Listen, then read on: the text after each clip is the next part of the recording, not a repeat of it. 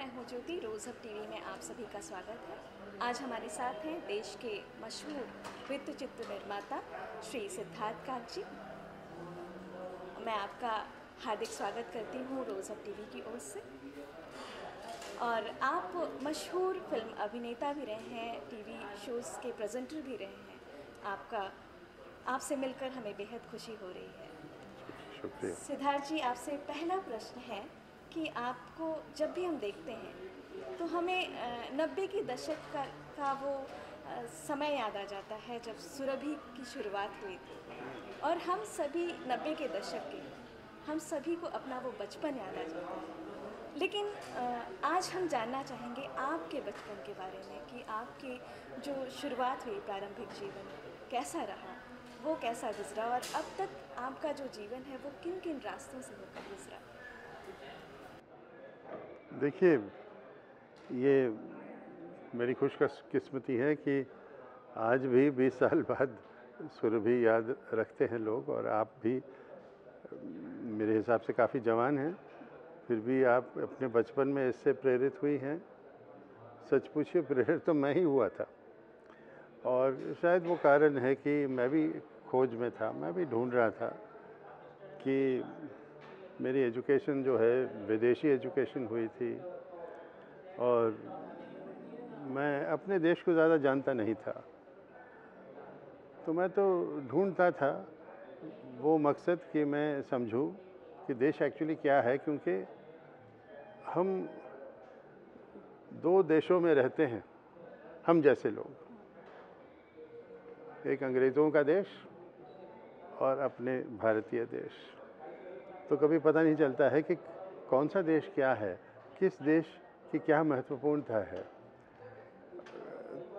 और सच है कि अगर हम ना यहाँ के रहें, ना वहाँ के रहें तो हम अपनी आप की पहचान की खोज में हैं, ढूंढ रहे हैं। और हम चाहते हैं ख़ास तौर पे अगर एक्टिंग का काम कर रहे हैं, कि लोग जो हमें देखें, वो हमें अपनाएँ। अगर वो हमें अपनाएँगे नहीं तो ना हम सफल रहेंगे ना हमारी आत्मा में कोई शांति आएगी कि लोगों ने हमको एक्सेप्ट नहीं किया।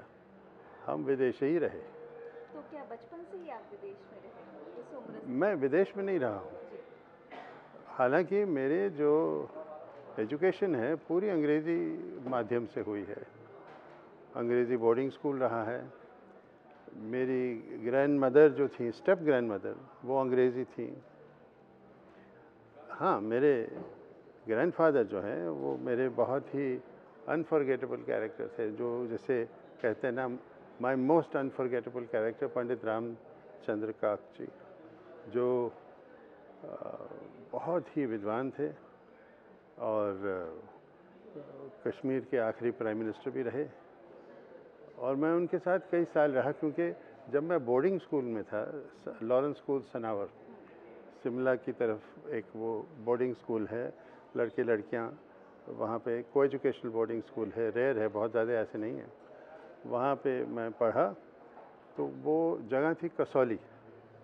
तो ये स्कूल एक पहाड़ी पे था और मेरे ग्रैंड पेरेंट्स जो हैं कसौली में दूसरी पहाड़ी पे रहते थे। तो एक पहाड़ी से दूसरी पहाड़ी हम भागे रहते थे, जब भी छुट्टी मिलती थी। तो मेरे ग्रैंड पेरेंट्स के साथ मैंने बहुत समय बिताया और बहुत प्रभावित हुआ उनसे। जो कुछ भी मुझे एक तरह से ज्ञान की खोज की एक तमन्ना मिली, वो उनसे मिली। तो वहाँ सर सुरभि एक ऐसा टीवी सीरीज़ था जो कि भारत के विविध क्षेत्रों का जो एक परिदृश्य दिखता है, एक झांकी दिखती है, वो उसमें दिखाई पड़ती है। ये 11 सालों तक चला। ये बहुत बड़ा कार्य था। तो क्या इसकी जो पृष्ठभूमि बनी, वो पहले से थी या श्रृंखला समय के हिसाब से बनती चली गई है, आपको पता नहीं चला? नहीं, मैं तो घबराता गया, क्योंकि लोग भी मुझे कहते थे भैया तुमने तो सब कुछ कवर कर दिया, अभी क्या रहा तुम्हारे लिए? और मुझे भी कुछ पता नहीं था तो मैं भी सोचता था, अभी आगे क्या हूँ? लेकिन एक दरवाज़ा खोला और घुसे कमरे के अंदर तो पता चला चार दरवाजे और हैं। और जैसे आप एक एक दरवाजे को खोलते चले जाएँ, हज़ारों दरवाजे खुलते रहे आपके लिए। तो जो इंसान, जिसको पहले ये मालूम था कि इतना जानता नहीं है वो। जब हज़ार दरवाजे खुले तो उनको यकीन हुआ कि कुछ नहीं मालूम है एक्चुअली जो विद्वान भी हैं, माफ़ कीजिए, उनको भी नहीं इतना मालूम है। क्योंकि वो ज़्यादा से ज़्यादा ज्ञान प्राप्त करते हैं थोड़े से थोड़े सी चीज़ों पे। फोकस होता है उनका। आम आदमी का जो है फोकस अलग होता है। वो कम से कम ज्ञान चाहते हैं बहुत सारी चीज़ों पे। अब वो जो एक तरीका होता है बातचीत करने का, वार्तालाप का कम्युनिकेशन का, वो होता है कि आपको वो चीज़ को लेना है जो बहुत ज़्यादा ज्ञान, बहुत थोड़ी चीज़ पे है और उसको ट्रांसफ़र करना है एक आम देश के लिए, जिस तरह का आपका टेलीविज़न आप चलाते हैं कि बहुत चीज़ों में काफ़ी ज्ञान लोगों तक मिलता जाए लेकिन ज्ञान उतना ही जितना एक आम इंसान हाँ और फिर वो तरीके होते हैं उसके कि आप उसमें हँसी प्यार यू नो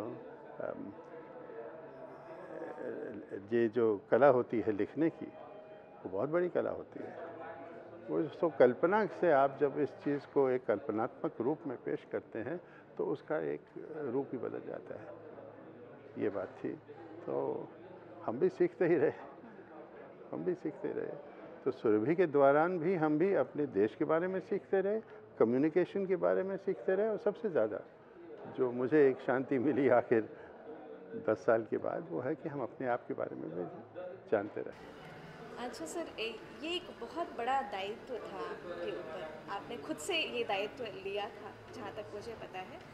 लेकिन कभी आपको इतना बड़ा कार्य करने में, जो कि एक आर्काइव्स था पूरे देश का, उसको करने में कभी आपको लगा नहीं कि कहीं हतोत्साहित हो रहे हैं या मन घबरा रहा है इसको करने नहीं नहीं हाँ वो देखिए, सबसे पहले अगर ये सारी चीज़ें इतनी डिटेल में पहले प्लान करी होती हैं तो वो फिर एक वो एक अलग कार्य होता है बहुत विजनरी कार्य होता है वो अक्सर मिलता ही नहीं है।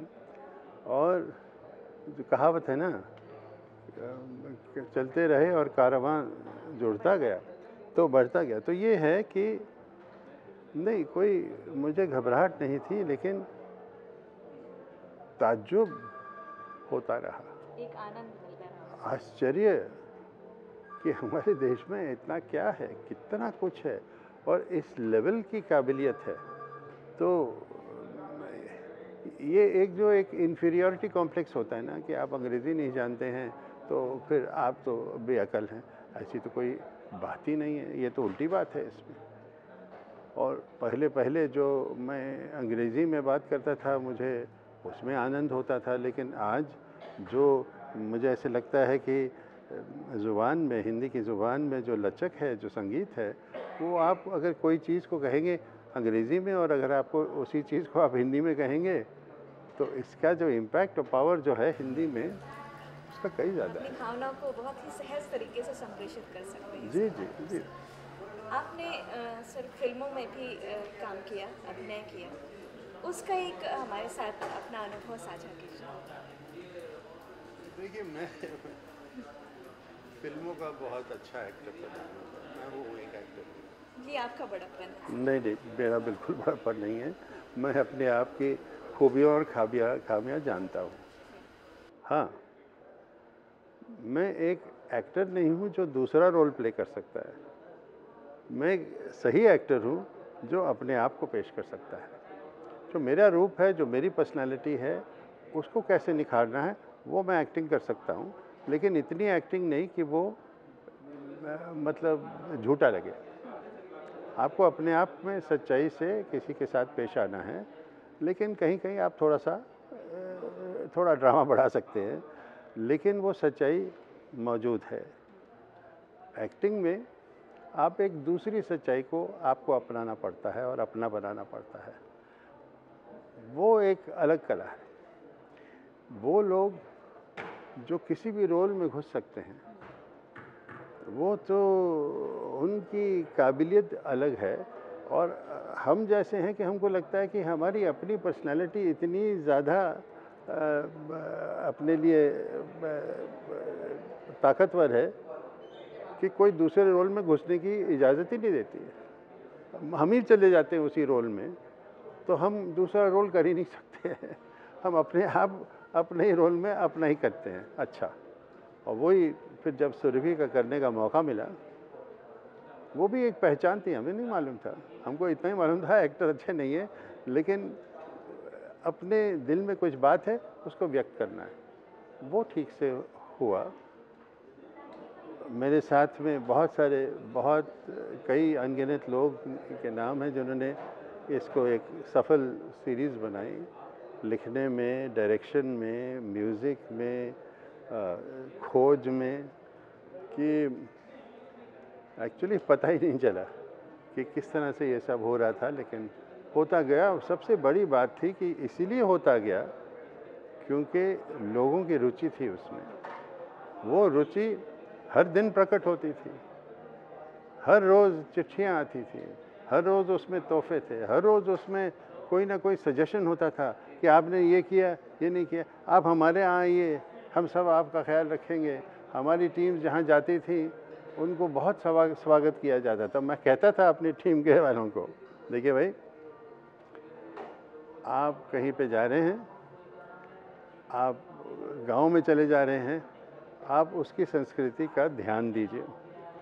अब यह है कि गर्मी है और वो जो टीवी और फ़िल्मों की यूनिट्स जो होती हैं, बड़ी इनफॉर्मली ड्रेस करती हैं।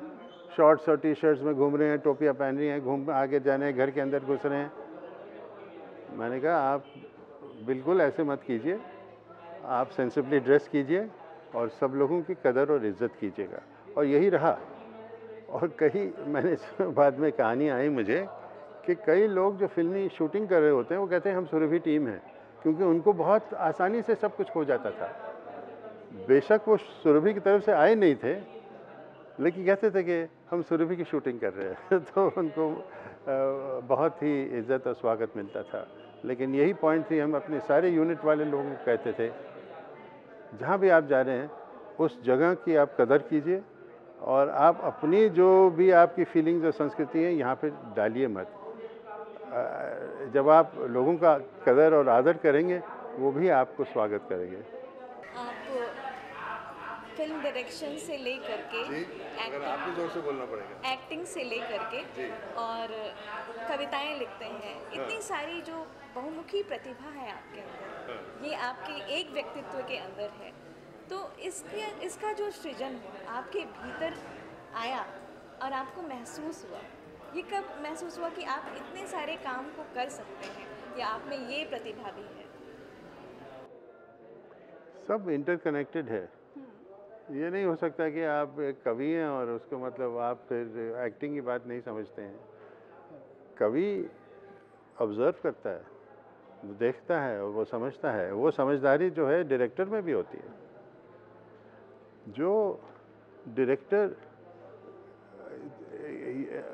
ज़िंदगी को देखता है, उसकी नकल करनी है तो वो भी कर सकता है। तो ये है कि मतलब अगर शक्ल सूरत वैसी नहीं है तो वो एक्टर आज तो खैर किसी भी शक्ल सूरत से आप एक्टर बन सकते हैं। अपनी शक्ल सूरत में ज़्यादा कोई इनफैक्ट अच्छा है कि आपकी वही नॉर्मल शुगर डैडी की तरह के आपकी शक्ल नहीं है। जो एक शक्ल जो होती है, जो अलग से होती है, वो बहुत लोगों को मतलब पकड़ में लाती है, भाती है। लेकिन मुझे लगता है कि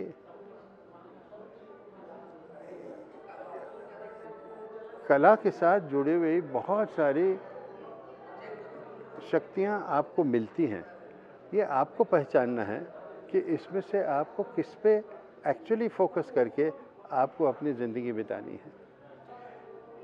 ये एक, ये बात होती है कि मतलब आप समझें कि बहुत, मैं बहुत बड़ा कवि हूँ, ज़रूरी नहीं है।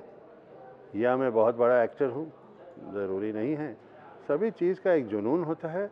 उसके लिए आपको एक प्रायश्चित भी करना पड़ता है। और आपको बहुत सारे सेक्रीफाइसेस करने पड़ते हैं। तब आप जाके किसी मंजिल पे पहुँचेंगे तो आप में इतना धीरज है, इतनी कॉन्फिडेंस है, आत्मविश्वास है कि आप यही करना चाहते हैं। और अगर नहीं है तो बेहतर है आप नौकरी करिए, ये काम मत कीजिए। क्योंकि वो कम से कम एक तो सिक्योर काम है ना वो। ये इस पर इनसिक्योरिटी बहुत है। आपने जो है भारत के लगभग सभी क्षेत्रों का भ्रमण किया। तो आप एक संपूर्ण भारत को देखते हैं, समझते हैं शायद उसकी रूप को, उसकी आत्मा को। तो आपने क्या महसूस किया कि भारत क्या है? जैसे कि भारत की संकल्पना के बारे में आप कहते हैं। तो वो हम जानना चाहेंगे कि आपके विचार क्या हैं भारत की संस्कृति को लेकर के। सबसे पहले मैंने भारत का सब पूरा मतलब उसकी फिल्मिंग तो नहीं की है। उस वक्त जो समय में, उस वक्त में फ़िल्म आ रहा था, काफ़ी कुछ की, लेकिन जितना किया, उससे ज़्यादा बहुत है। यहाँ पे अनंत है भारत। और हम देखते हैं कि संस्कृति एक दरिया की तरह बहती है। वो कहाँ पे आप किस चीज़ को कहेंगे कि वो अतीत है? और किस चीज़ को कहेंगे ये ये फ्यूचर है? और किस चीज़ को कहेंगे आज है? वो क्षणों में बदलती जाती है। तो मुझे लगता है कि एक डुबकी मारी है। जहाँ पानी आपके आसपास में है, वही आप जानते हैं। दरिया बहुत विशाल है। मत सोचिए कि आपने जहाँ पे मतलब दो स्क्वायर फुट पानी देखा तो आपको सब कुछ पता चल गया, नहीं चल गया। ये एक अनंत खोज है। और हमारे देश की तरह और भी बहुत बड़े बड़े देश हैं, अफ्रीका हो या चाइना हो, उनके भी बहुत ही बड़ा बड़ी बड़ी संस्कृतियाँ हैं। उनके भी अनंत सिलसिले हैं, लेकिन हमारे देश का अपनी जगह है और हम, मैं मानता हूँ कि हमारे देश की जो संस्कृति है, जो पहले से चली आ रही है, वो आज के विश्व में भी बहुत काम आ सकती है लोगों के। आपको जो लोगों को कम्युनिकेट करना है, वो उनकी आज की ज़िंदगी के हिसाब से कम्युनिकेट करना है। आप कल की ज़िंदगी या विज्ञान या वैज्ञानिक लोगों की ज़िंदगी से कम्युनिकेट नहीं कर सकते हैं, क्योंकि वो सुनने के लिए ना उनको टाइम है, ना रुचि है। तो आपको ढूंढना है कि अगर आप अपनी संस्कृति को लोगों तक पहुँचा रहे हैं, क्यों पहुँचा रहे हैं? उसमें कुछ ऐसी बात है जिससे आपको कुछ फ़ायदा हुआ? और फ़ायदा ये नहीं होता कि रुपए पैसों का पैदा फ़ायदा ये भी होता है कि आपको गौरव महसूस होता है। और यू नो एक एक करीब महसूस होते हैं एक दूसरों से। तो ये अच्छी चीज़ है। तो आप अगर उस मकसद से कर रहे हैं तो वो चलता रहेगा। लेकिन ऐसी बात तो नहीं है कि हमने सब कुछ कवर किया मुझे तो लगता है बहुत कवर करने का है। रोज़ मैं सीख रहा हूँ। कल भी मैं हमने कुछ दिखाया तो वो, काफ़ी यूनिक था। अपने टाइम में वो कोकोनट मतलब के पेड़ पे चढ़ते हैं लोग। वो भी एक कला है। आप और मैं चढ़ने की कोशिश करें हम तो मैं दो फुट भी नहीं चढ़ पाएँगे एक पेड़ पे वो कैसे चढ़ते हैं? तो कल एक महान शख्स थे वो आए उन्होंने कहा कि आप शायद नहीं जानते हैं कि आपने कोकोनट के पेड़ का दिखाया। लेकिन आपने कभी देखा है कि सुपारी के पेड़ पे कैसे लोग चले? एक तो सुपारी का पेड़ जो है बहुत और भी पतला होता है और वो उस, उन पेड़ों पे चढ़ के लोग जो हैं, वो पेड़ जो हैं, पतले हैं और वो झुकाव होता है उनका तो वो पत्तों को पकड़ के टहनियों को पकड़ के ऊपर चढ़ के एक पेड़ से दूसरे पेड़ पे छलांग मार के फिर आखिर में नीचे आते हैं। आपको नहीं मानता, ये भी एक खेल है। मैंने कहा, भैया ये तो बड़ी अच्छा बहुत अच्छी चीज़ है, ये नया विषय हुआ। और इसके साथ फिर जुड़ता है कि वो जियोग्राफी वहाँ की हिस्ट्री वहाँ के लोग, वहाँ के खान पान वहाँ के तौर तरीके वो सब उस सुपारी के पेड़ के साथ जुड़ते हैं। तो चाहे एक मज़ाक या कंपटीशन के ज़रिए आप कुछ पेश कर रहे हैं तो उसके साथ, उसकी कला, उस, उसकी कला के साथ एक संस्कृति भी आपको याद नज़र आती है। आप कुछ जगह तो कुछ ना कुछ नया मिलता ही रहता है। अभी आज हम सभी यहाँ काशी में हैं। तो काशी एक तरह से कह सकते हैं मिनी इंडिया। पूरे भारत का एक दृश्य दिखता है काशी के घाटों पर काशी में। आप काशी को किस तरह से देखते हैं या काशी आकर क्या महसूस करते हैं? काशी की खासियत है कि जो गंगा की मिट्टी जो इसकी देन है, उसके कारण काशी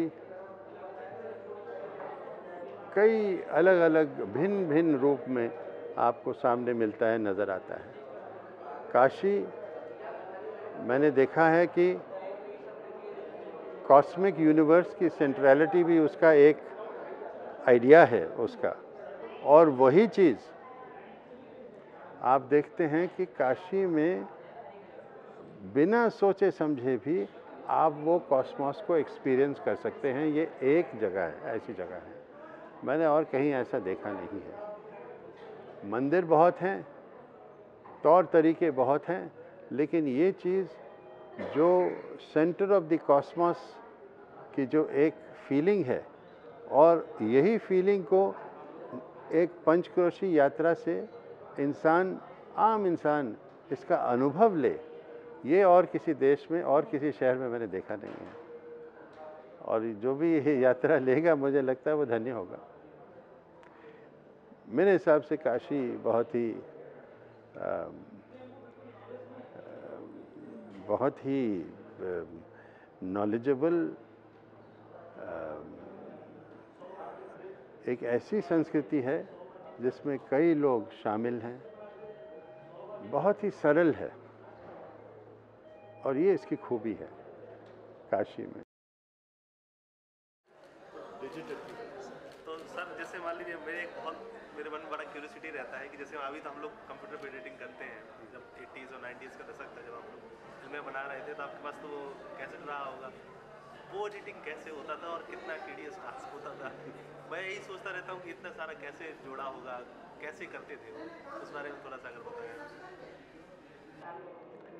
हाँ वो एक दौर था जब वो बीटा कैसेट या पहले तो यूमेटिक कैसेट होते थे, लो बैंड, हाई बैंड।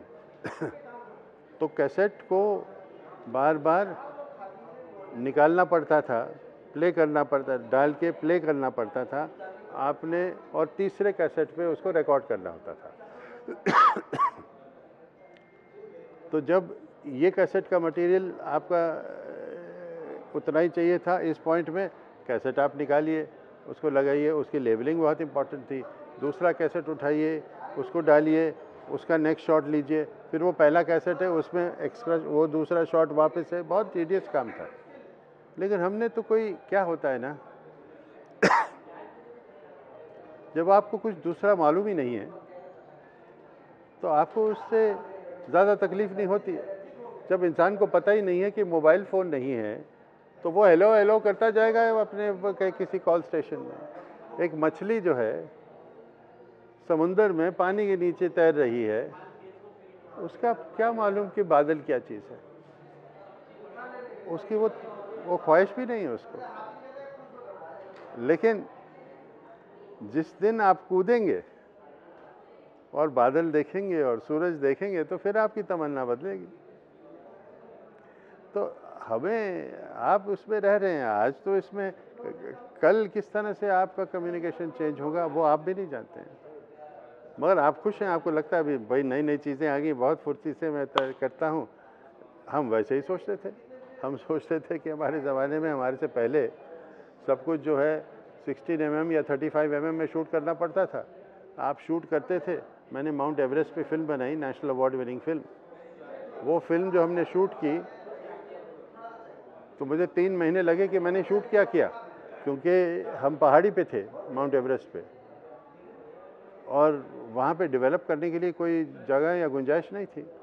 तो हमको वेट करना पड़ा जब तक कि हम बॉम्बे में लेबॉरेटरी में वापस लौट आए।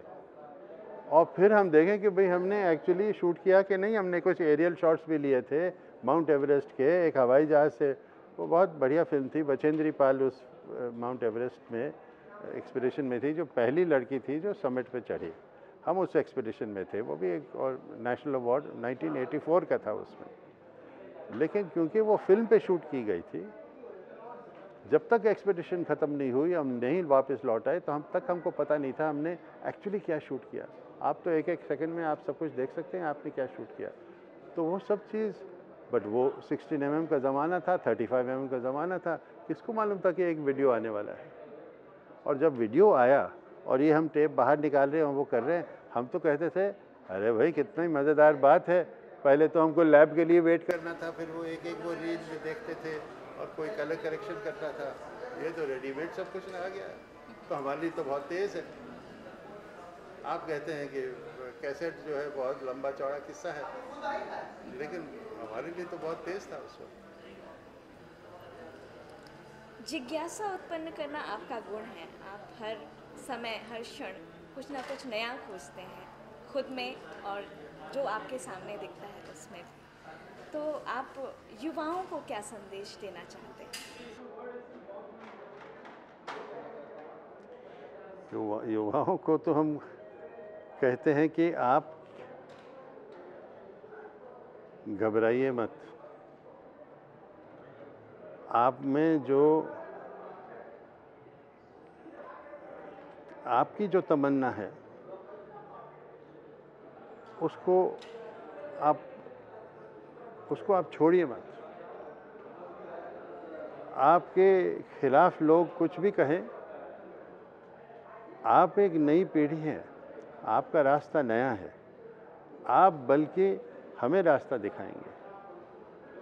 और सच पूछिए, मेरे लिए आज के दिन में मेरे जो कंपनी है, जो मेरी जो टेलीविज़न प्रोडक्शन की कंपनी है, सारे यंग लोग हैं उसमें। और उनके बगैर मैं तो आज कुछ काम ही नहीं कर सकता हूँ। क्योंकि मालूम है कि जिस तरह से वो सोच रहे हैं, वो मैं नहीं सोच सकता हूँ। जिस तरह की उनकी आइडियाज़ हैं, वो मेरे पास नहीं है।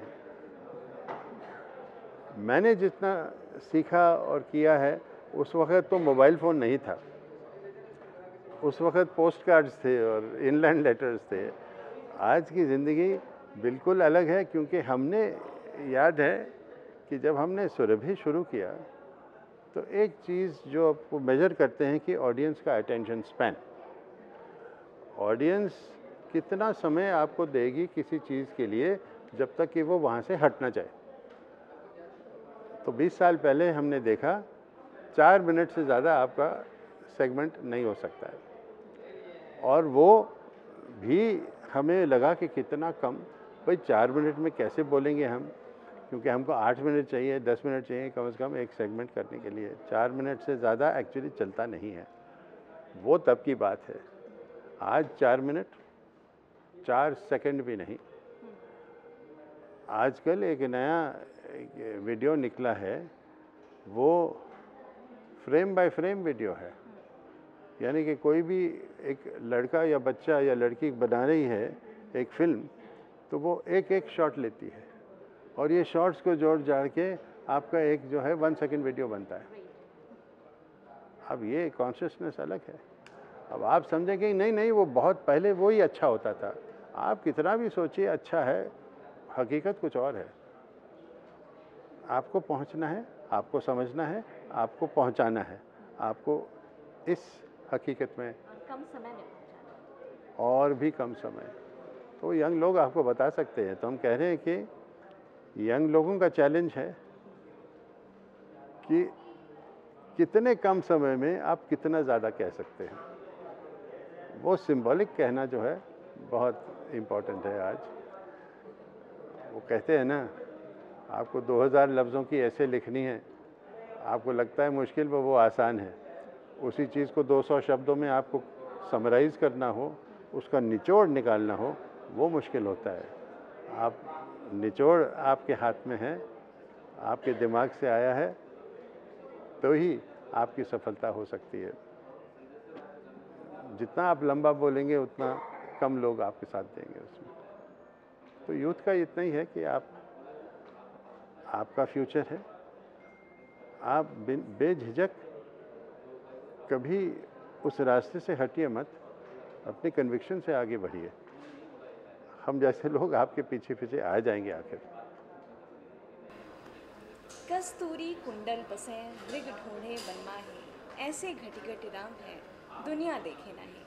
ऐसी विचारधारा के को लेकर आगे बढ़ने वाले हमारे आज के जो गेस्ट हैं, श्री सिद्धार्थ काक जी, उनसे बहुत कुछ सीखा हमने, बहुत कुछ जाना और निरंतर खोज करने की जो प्रवृत्ति है उसको भी समझा। तो मैं Jyoti Singh rose hub TV की ओर से आपका बहुत बहुत आभार व्यक्त करती हूँ। धन्यवाद। धन्यवाद। बहुत बहुत शुक्रिया। Thank you very much